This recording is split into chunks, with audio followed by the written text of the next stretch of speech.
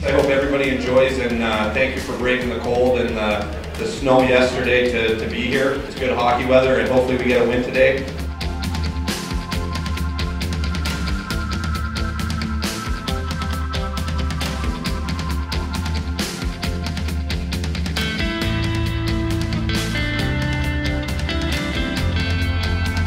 We have in attendance with us one of the all-time favorite Boston Bruin players. One of the toughest guys that uh, ever played hockey in the National Hockey League.